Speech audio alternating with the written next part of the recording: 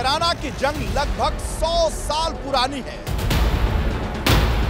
Samajwadi party गठबंधन से नाहिद हसन तो भारतीय जनता पार्टी से मृगांका सिंह। पलायन जो था वो एक बहुत ही दुखद स्थिति थी जो यहाँ का दुखद अतीत है।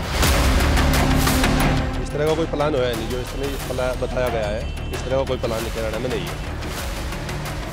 कैराना से फ़ील्ड मार्शल रात आठ बजे।